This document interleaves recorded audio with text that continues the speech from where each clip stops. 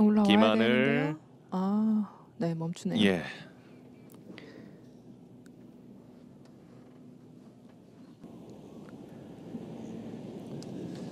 자, 김하늘 선수입니다. 브레이크 굉장히 많은 위치죠. 아, 아,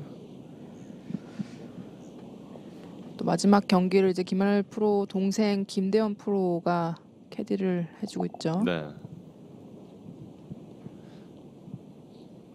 원래 현역 시절에도 백을 자주 매주기도 했었잖아요. 네. 끝에는 조금 많아.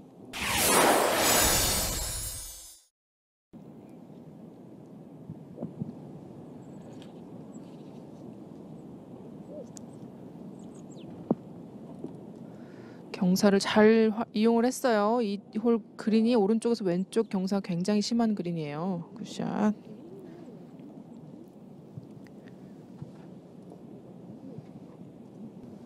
김하늘 선수 6번 홀. 자, 오늘 경기 첫 버디가 네, 네 good putt. 드디어 성공이 되네요. 연습 안 하고 나왔다고 그러는데 어, 뭐 샷감 괜찮아 보입니다. 예.